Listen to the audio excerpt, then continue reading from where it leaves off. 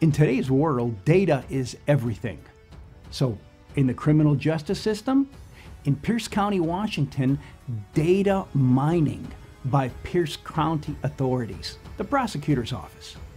Spencer Freeman, criminal defense attorney, explains.